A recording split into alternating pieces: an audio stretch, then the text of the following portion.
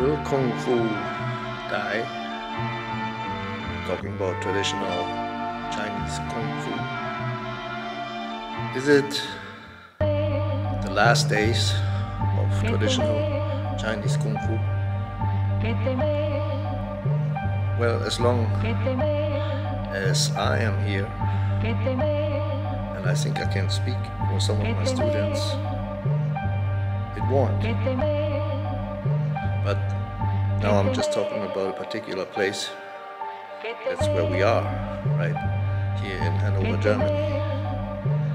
Some of my students that live not in Hanover are Sava in Pančevo, Belgrade, near Belgrade in Serbia, or Dali, a student in Hamburg, or Andreas, who's nearby Kassel, Frankfurt. But that's not enough. It's not enough to keep it alive. We also have to work on our training methods, on our. We basically have to open our mind. And I think, I feel that I pretty much have been doing that for a long time. So it's not dying.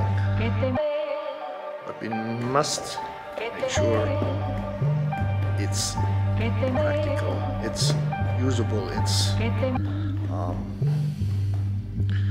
it's of course it's not only all about fighting, it's about the traditions, it's about the culture, it's about improving yourself. But at the end it's martial arts. Martial arts is for fighting.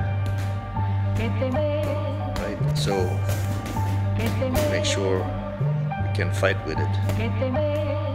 Not only know how to play forms or you know line dance, stuff like that. We need to be able to teach our students to defend themselves properly.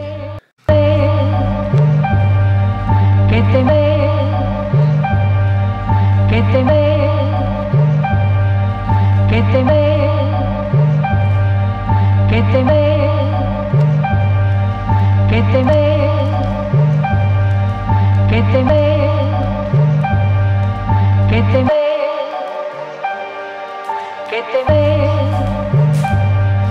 que te ve. Ah. Auf der Hinterarm, ne?